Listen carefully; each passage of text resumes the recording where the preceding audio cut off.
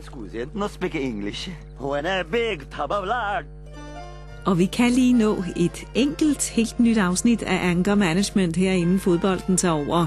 Charlie holder århundredets fest.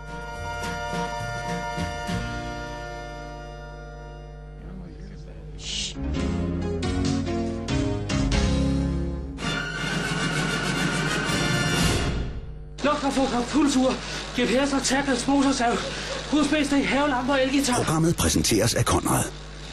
Webshop for elektronik og teknik. Programmet præsenteres af 25.000 kroners lån fra DER til det, du lige mangler. Programmet præsenteres i samarbejde med TV3casting.dk. Statist, model og eventjobs online.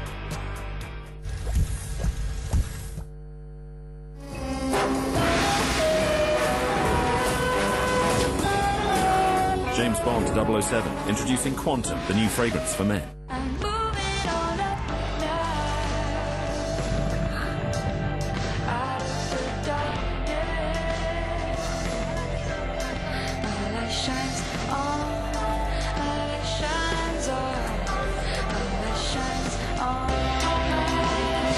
Det bedste fra Sony til dine bedste øjeblikke. Den nye Xperia Z1 smartphone fra Sony.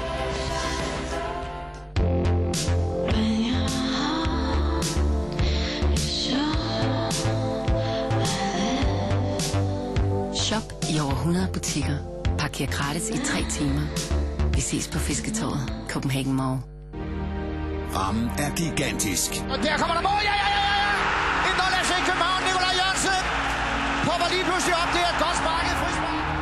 Følelserne er store. Spændingen er enorm. Champions League Galatasaray FC København i morgen fra kl. 19. Direkte på TV3+.